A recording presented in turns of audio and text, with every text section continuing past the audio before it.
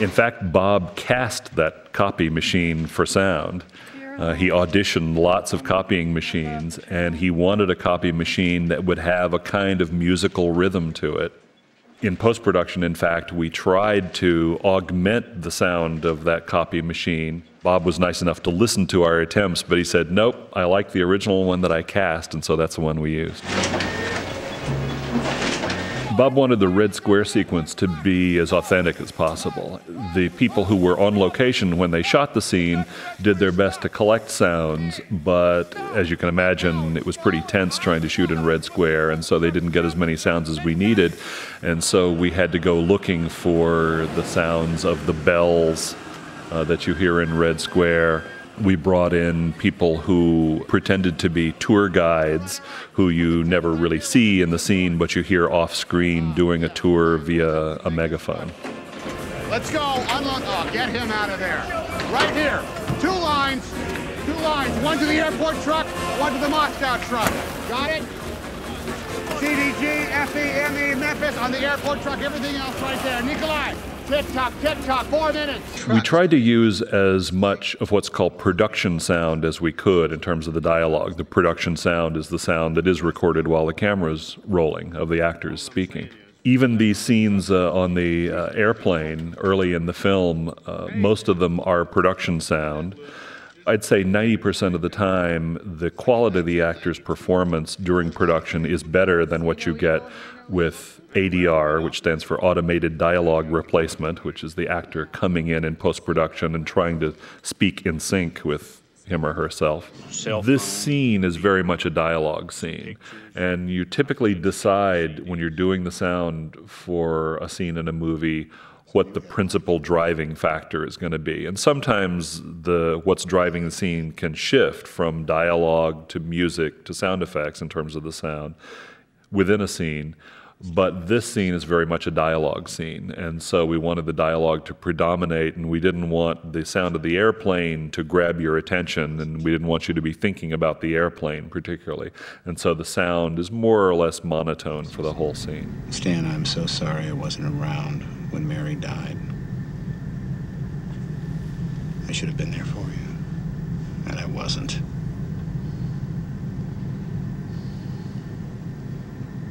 I'm so sorry. Foley is the sound effect equal of ADR. Foley is a process invented by a guy named Jack Foley, or at least popularized by Jack Foley, in which you record certain kinds of sound effects while you're watching the scene on a screen in a studio. For instance, uh, at the beginning of the scene between Tom and Helen Hunt, when they have their day planners, the first thing you hear is the slap down of those day planners. Okay, I'll cancel Saturday. No, don't, don't. If I'm not here, I'm not. And that's partly a production sound effect that was recorded when the cameras were rolling, and it's partly a Foley sound.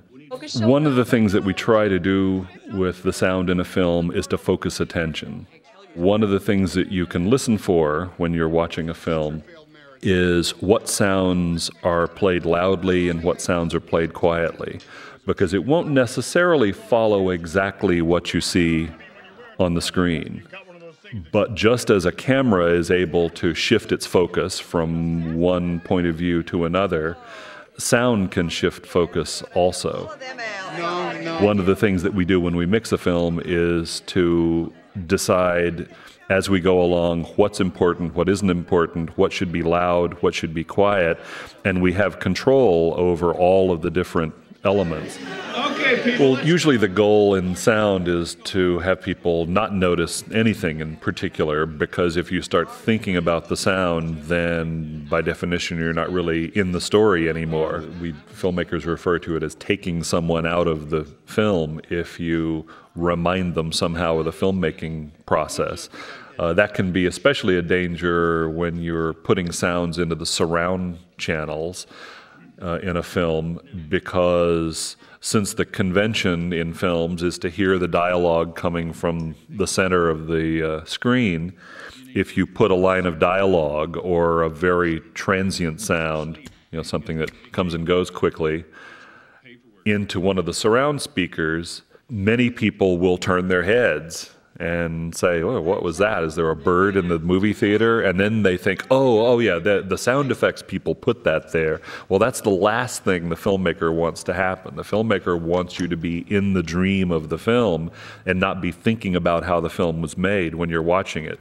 So we have to be pretty careful about placing sounds for that reason. The mix for this film, uh, including what's called pre mixing, which means putting sounds into certain categories, and also the final mix, in which you're literally mixing together the sound effects and the music and the dialogue, the way it's going to sound in the movie theater, uh, was about six weeks. And that's six weeks of roughly nine or ten hour days. Uh, it was a pretty straightforward and, and not particularly difficult mix, actually, uh, partly because of this temp mixing process, uh, where we learn a lot about what works and what doesn't work. Uh, so Apocalypse Now was mixed for nine months, for instance. but Apocalypse Now didn't have many temp mixes.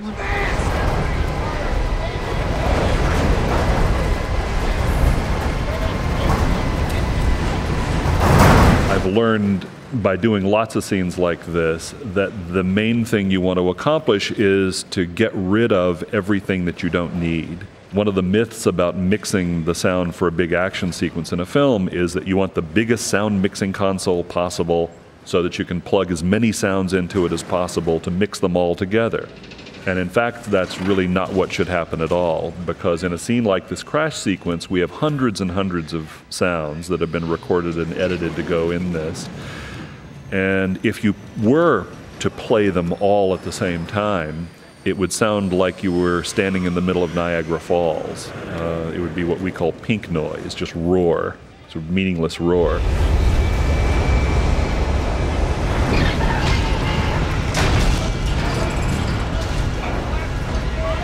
For instance, when the big FedEx package suddenly shifts position, we need to hear that sound mostly rather than the roar of the airplane around it or the whistling of the wind or the banging of the things in the background. What we do is either get rid of or reduce in volume all those other sounds so that we can concentrate on the FedEx package scraping across the floor and banging into the uh, end of the airplane.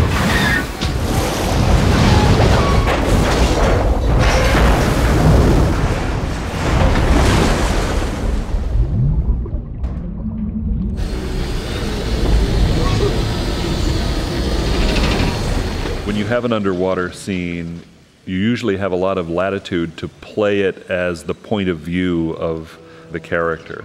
It's easy to assume that everything that you're seeing and hearing is what he's seeing and hearing. We might hear only bubbles at a certain moment. Another moment, we might be hearing mainly the creaking of the metal. And if you were to actually record the sounds that you see there, in fact, they would be very different from what we put in the film but what we put in is valid because it's the way Chuck is experiencing. It's what he's hearing and what he's feeling. So we can use sound in a very musical, kind of dramatic way.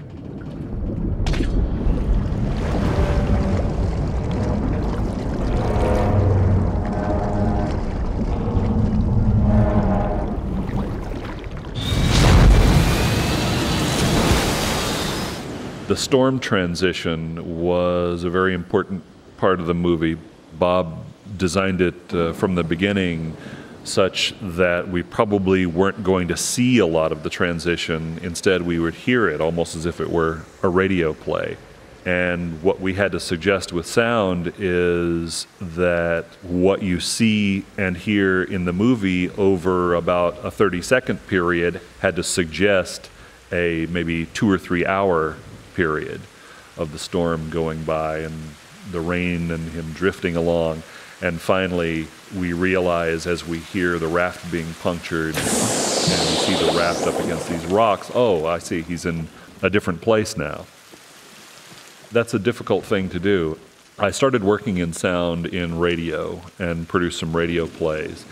And when I started working in film, I tended to be sort of disgruntled, thinking, why do we always have to worry about the camera? It's such a hassle. But now that I've worked in film for a long time, I find that when I occasionally do go back and do something for the radio, like a radio play, I'm thinking, wow, I wish I had the visuals to lean on a little more because it's hard to tell a story just with sound. And so trying to do that for Cast Away, eh, do the storm sequence almost like a radio play, was very much like that. One of the most difficult sound sequences to create, believe it or not, uh, for the island was when Chuck first arrives on the island and he wakes up in the raft. And things are very quiet, but you see and hear these waves lapping up onto the beach. Those waves were very difficult to create and make believable. We weren't able to use the production sound because there was pounding surf off in the distance, and we didn't want to hear that. We wanted it to be very quiet to contrast with the loud sequence that had come before. And so we had to record each of these waves individually and not only get the sound of the impact of the wave, but also get the waves that just sort of slide up onto the beach without any impact, and that kind of fizzing sound when the waves slide back down the coral sand beach. It was an enormous effort to try to not only collect all of those sounds, but to edit them together in a way that you would really believe. And uh, it took a lot of trial and error to, to get it just right.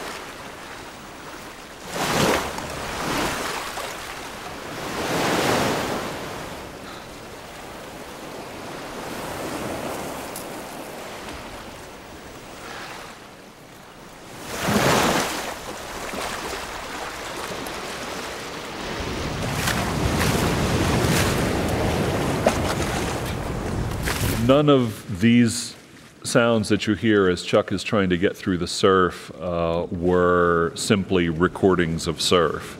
Uh, we've tried to do that in the past on similar films that had surf sequences, and the sound that you get is just noise.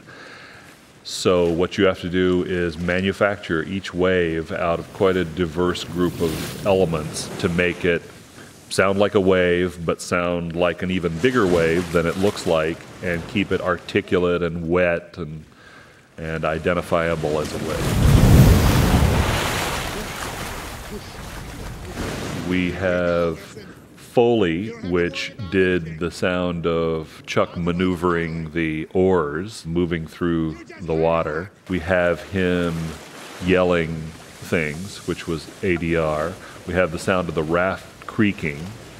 We have impacts of the waves onto the raft, and the raft kind of thunderously hitting the water after each wave has hit it.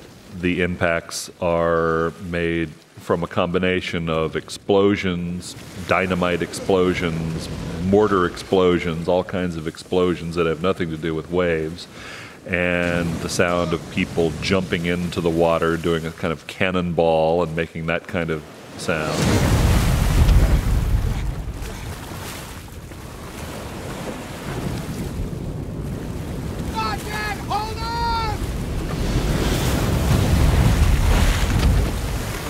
We wanted the ADR to sound like it was production, which would have been recorded outside. So we wanted to simulate the sound of outdoor acoustics.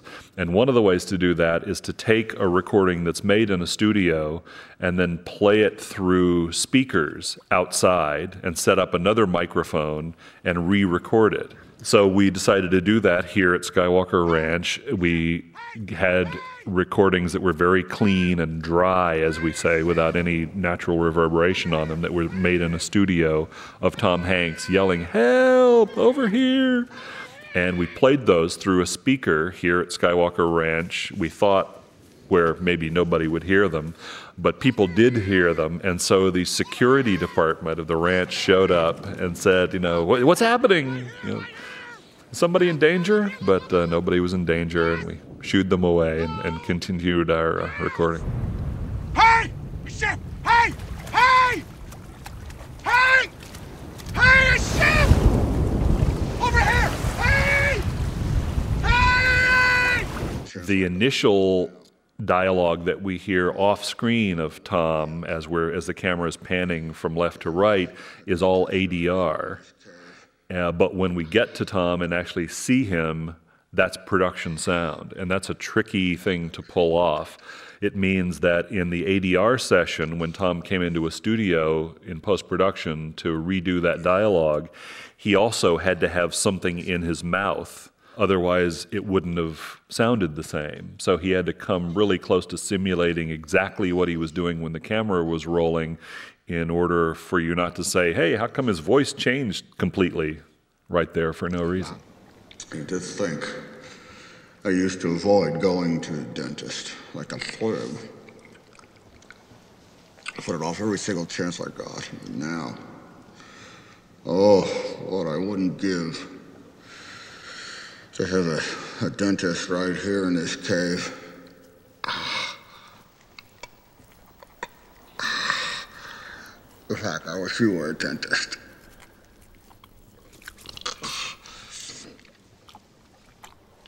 Yeah. Dr. Wilson.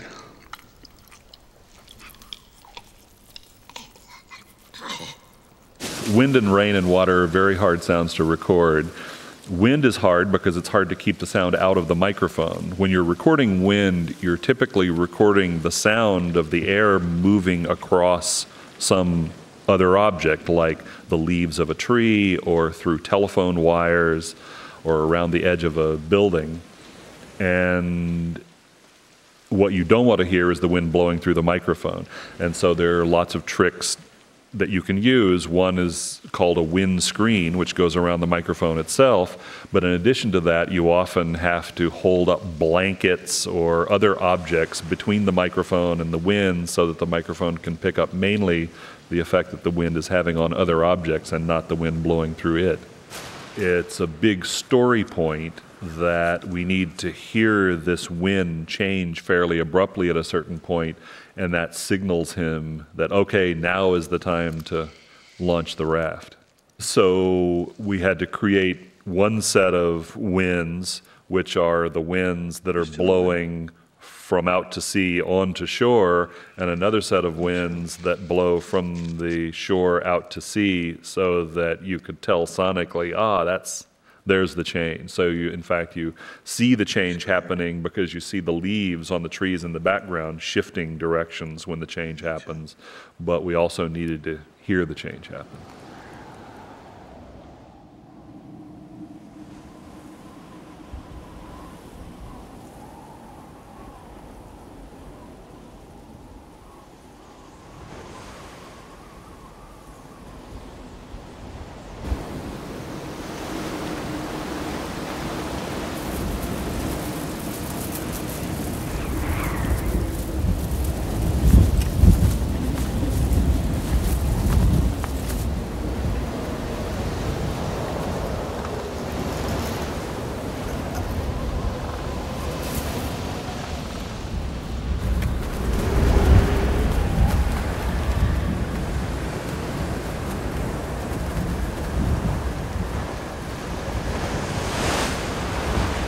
In the old days of radio plays, they often used uh, big sheets of metal uh, being shaken and maneuvered to simulate the sound of thunder.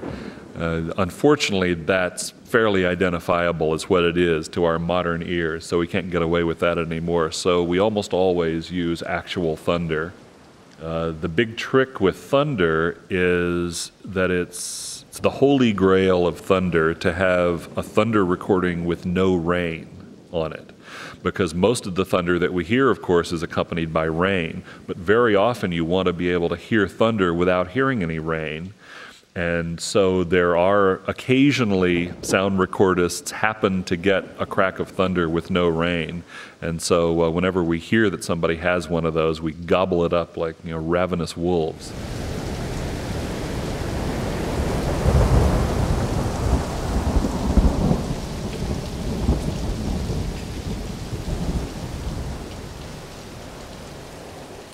One of the challenging decisions that Bob made early on was that he decided there should be no sound of birds or insects or frogs on the island. Initially, I felt like, wow, I have a straitjacket on. That really limits the palette that I have to work with.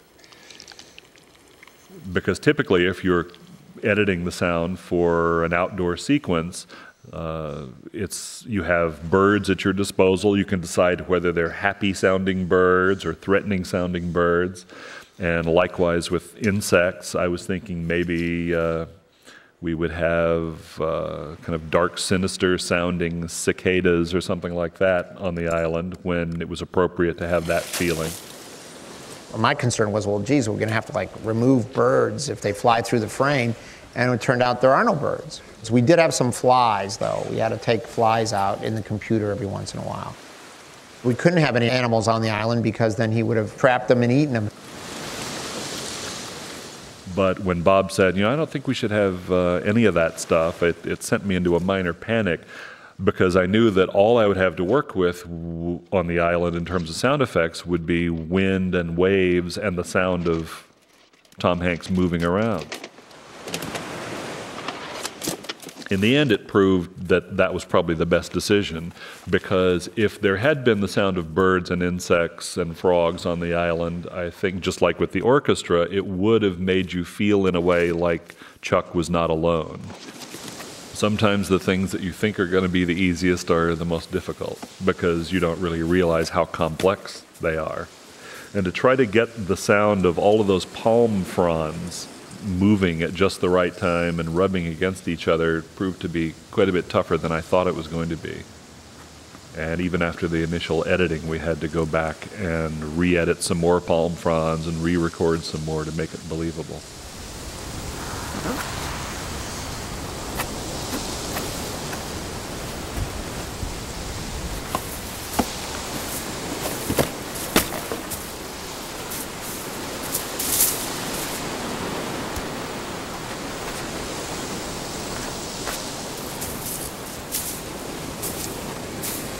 We probably have 15 or 20 different sound sources.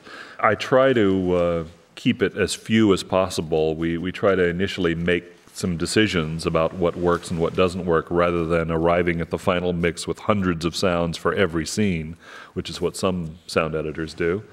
And so in, in this scene, we had a mere you know, 15 or 20 simultaneous sound sources. Uh, we have three or four surf sounds going on simultaneously for the distant surf.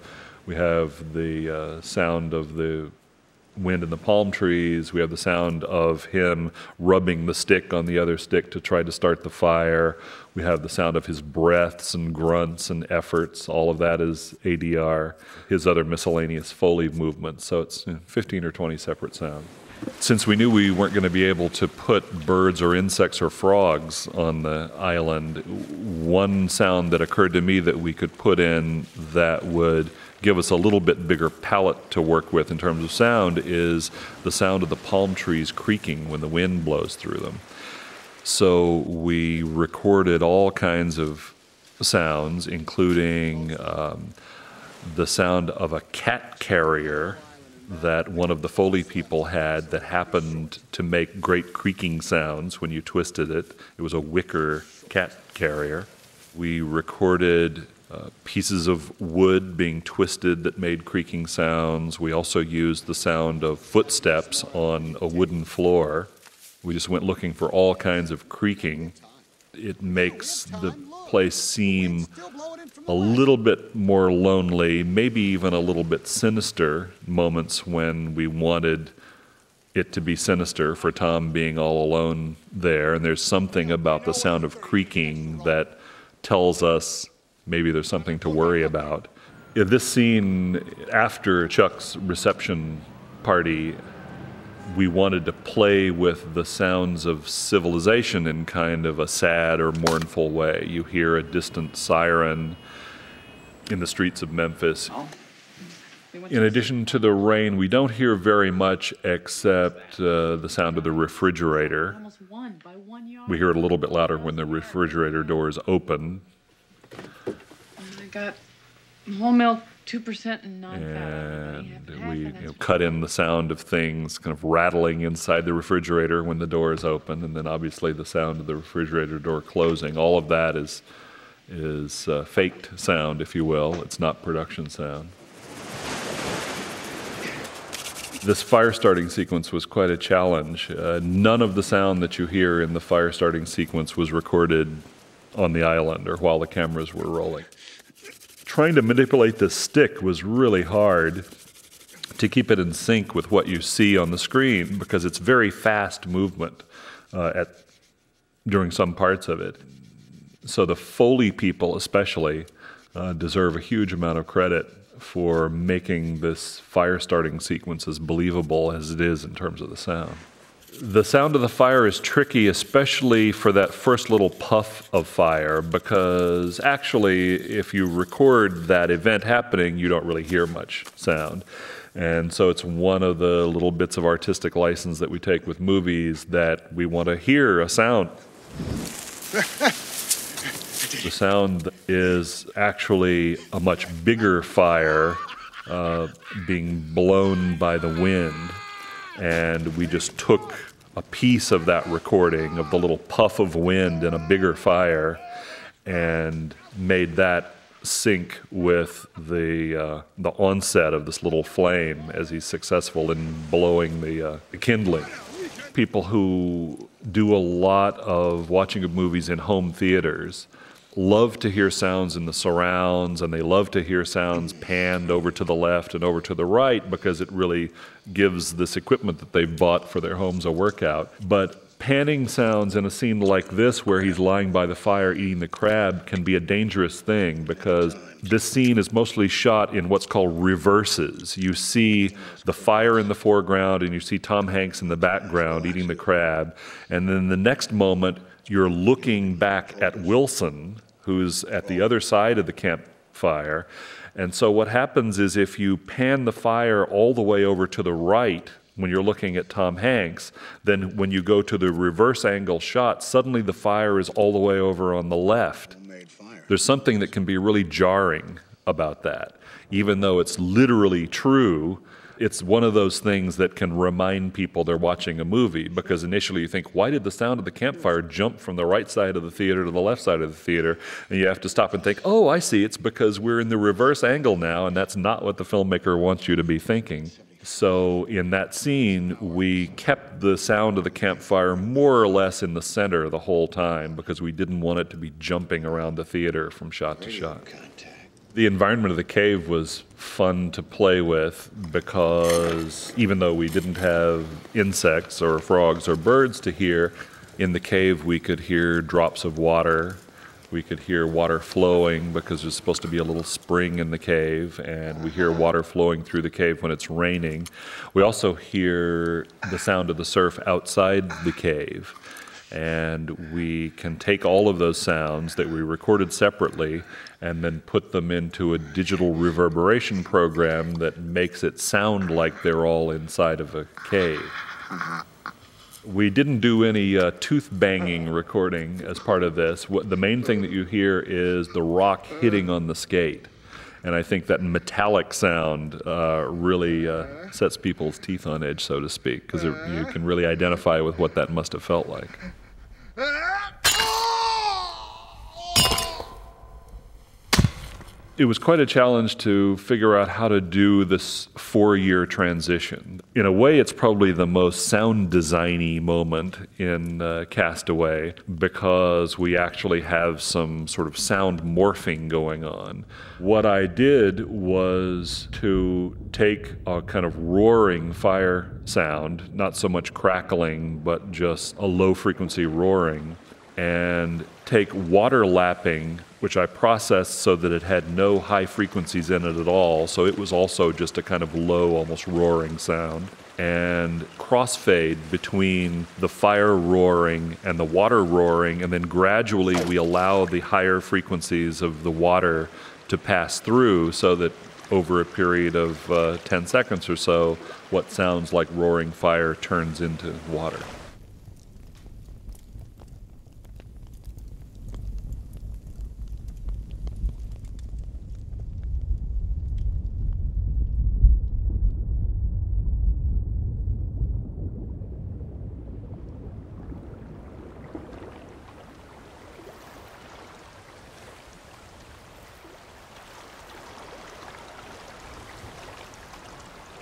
When he's inside the cave and initially hears the porta potty outside, we added quite a bit of artificial reverberation to that to make it sound more like it was coming from a distance. We used a real porta potty.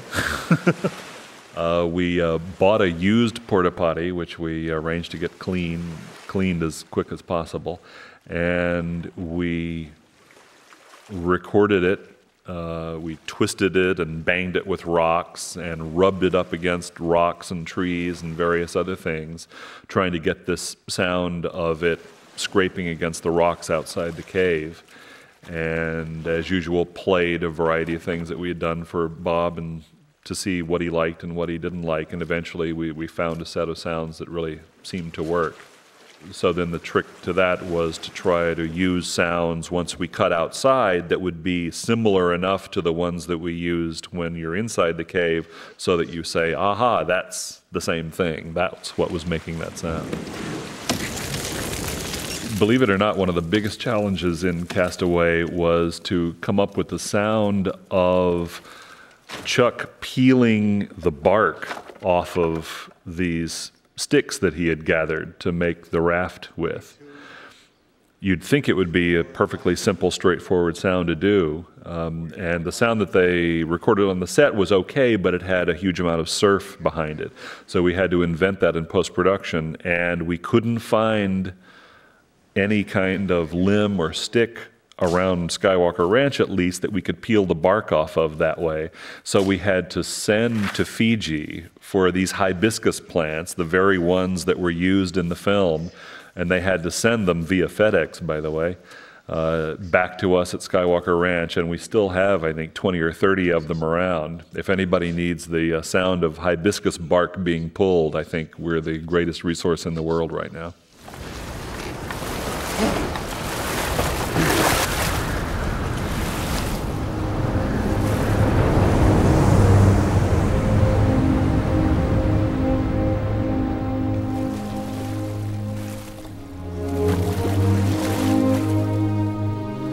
When Chuck finally does make it through that last wave, we hear musical score coming in for the first time in the film. We had heard music before in the film, but it's what's called source music. That is, it's things that people are listening to on the radio or it's pieces of pop music. But here we are almost two thirds of the way through the film, and it's the first time we're hearing musical score. That's very unusual in a movie. And uh, Bob Zemeckis thought, I think, from very early on that that's what he wanted to do. And I think it makes a huge impact that way because you haven't heard any music at all for about an hour and a half. And when you hear music, especially this lush score come in out of nowhere, in a sense, it has a dramatic effect that it would not have had if you had been hearing music all the way through the island.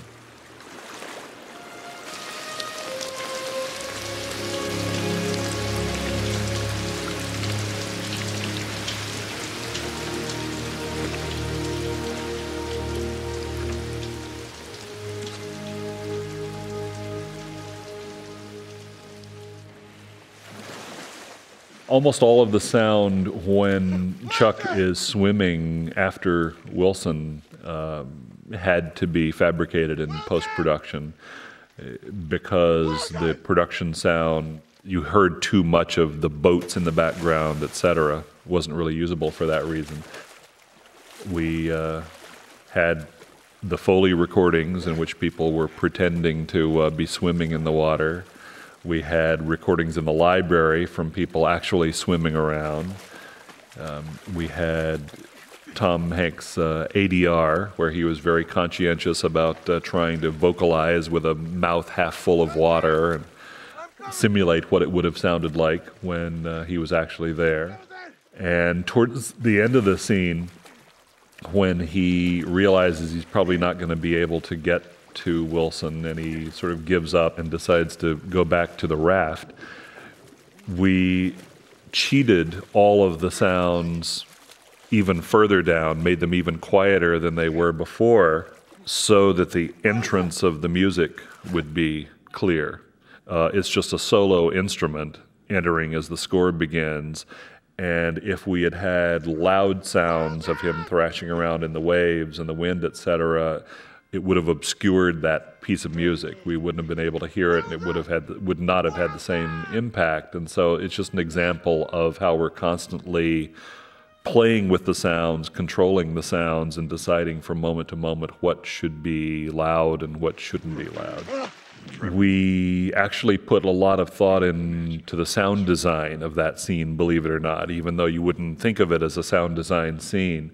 If you listen to the sound, you'll notice that the sound of the crowd in the background, which is initially very loud when he first uh, walks into that FedEx lounge area, goes away by the time they start talking, and certainly once you get really into their conversation, you hear that crowd almost not at all.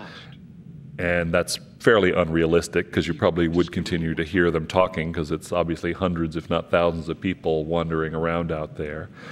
And the sounds of the jets going over changes quite a bit as well. We tried to use the sound of the jets in a very musical way when Kelly's husband is breaking the news to Tom that he is, in fact, her husband, there's a particular sound of a jet uh, taking off and kind of disappearing into the distance that has this kind of low, mournful roar to it. And we put that, that jet in that exact place very much on purpose because it's essentially scoring that scene. It's, it's uh, reflecting what the Chuck character is feeling.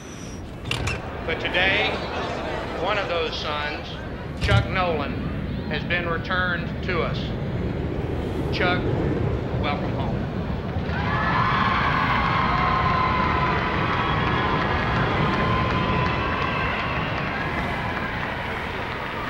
Just moments ago, Fred Smith welcomed home Chuck Noland. How about it, Michelle? Such an incredible and amazing story to come back from the dead. Well, it's so amazing that Fred Smith himself welcomed him back. And it's important to Fred acknowledge that uh, while time waits for no man, we do have time to pause to honor one of our own. Now, that's a, an expensive pause here at FedEx. Very much so, but when you have a special occasion like this, you know, it's, it doesn't matter the fact that we have so much value. I'm, I'm sorry, I must be in the wrong place. No, you're in the right place. You probably don't remember me. I, I actually did root canal on you about five years ago. Jim Spalding referred you? Oh, yeah, yeah.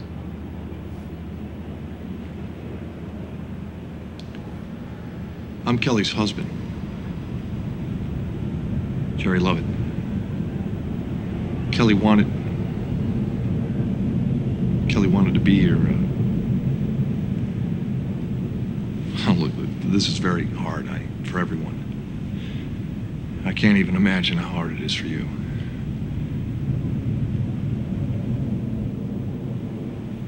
Kelly, uh, she's had it rough.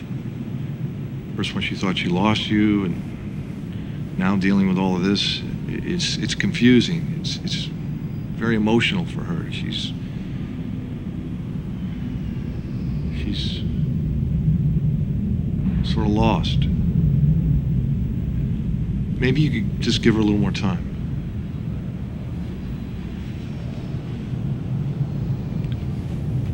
Anyway, uh, sorry that.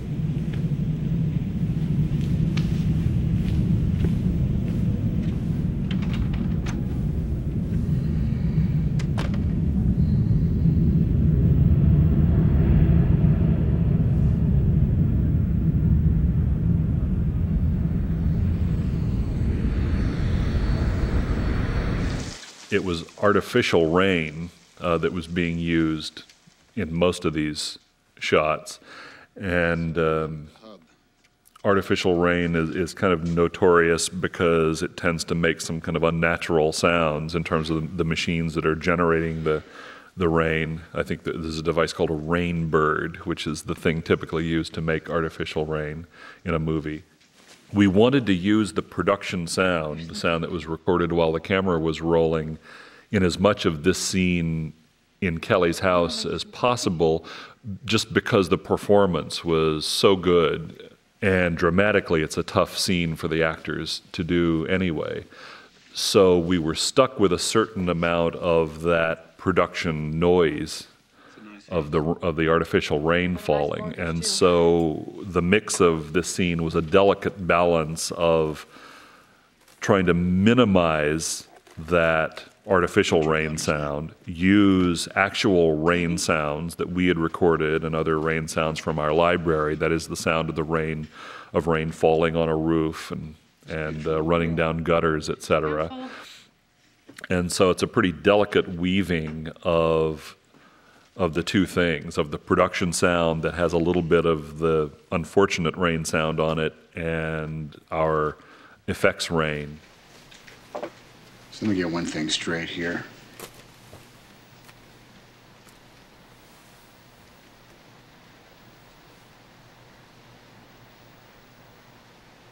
We have a pro football team now, but they're in Nashville.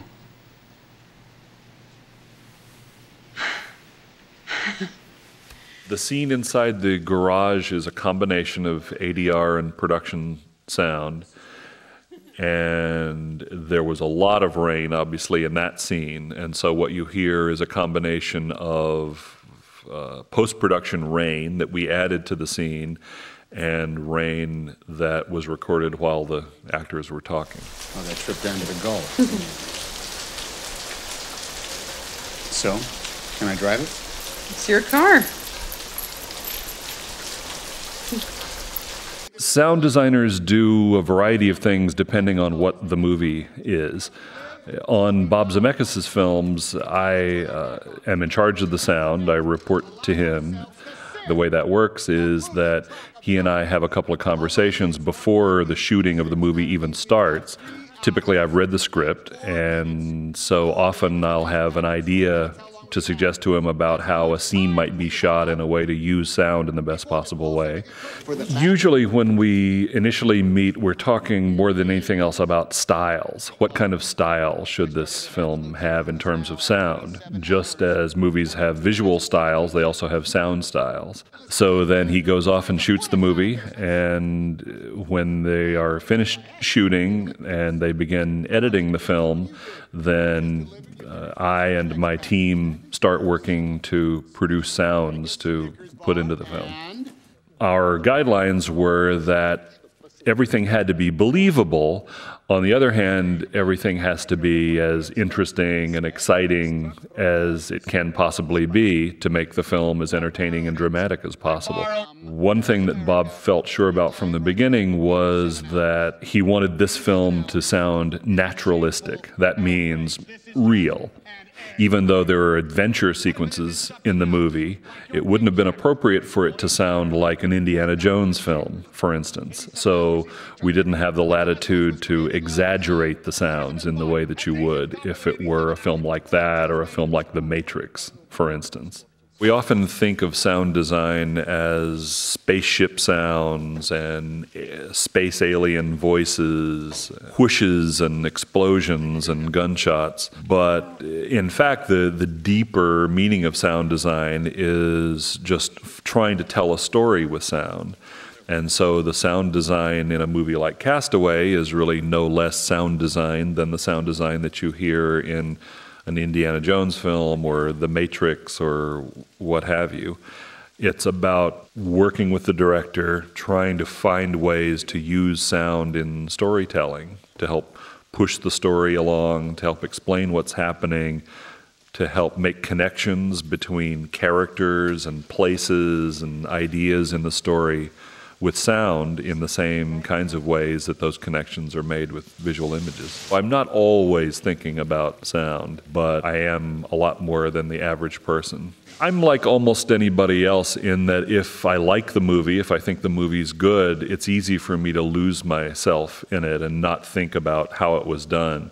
But if I don't like the film, or if it hasn't really grabbed my imagination, then I do sit there thinking, hmm, I wonder how they did that, or I wonder why they did that, or, you know, I would have done it a different way, or Uh, I wish I knew how they did that because I'd like to be able to do that myself. When I walk down the street and I hear a sound, it's not at all unusual for me to think, I wonder what that would be like if I played it backwards, or, uh, or that sound would be great to use in some entirely different way.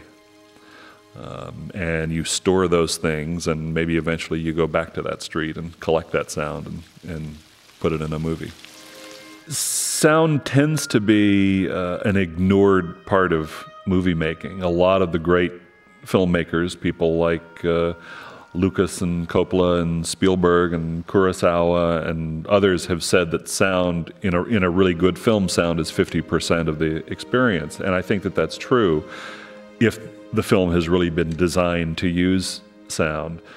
One of the first people who did design his films for sound was Orson Welles. And that's partly because he came out of a radio background. He had written in and starred in and directed plays for the radio before he did Citizen Kane. In fact, Citizen Kane was his first film. And they had to give him a crash course in uh, what a close up was, et cetera, so he could direct this film. But he knew an awful lot about how to use sound to tell stories. And so, one of the things that I spend the most time on when I'm working with directors is to try to help them figure out how to use sound in their films.